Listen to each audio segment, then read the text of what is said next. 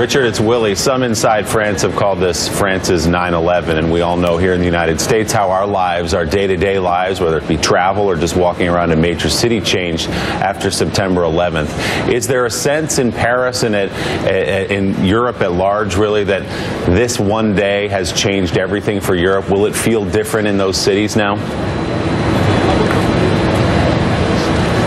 Uh, you don't hear those same kind of draconian statements coming out of uh, French officials that today we will never be the same, our life has to be different, our civil liberties have to be uh, compromised. Uh, they, perhaps they learned some lessons. A lot has changed between 9/11 and uh, and today in France, but there there is a, a feeling that this country feels very vulnerable. Uh, that what they saw happening in in Yemen or Afghanistan is suddenly uh, did happen here in Paris. That mm. image of two heavily armed men, the two Kouachi brothers, uh, in mask, dressed in all black, uh, cradling their AK 47s, going through the streets, uh, entering Charlie Hebdo newspaper, executing the staff, going out, killing a police officer in cold blood, and then driving away with their car full of grenades and Molotov cocktails and ISIS paraphernalia people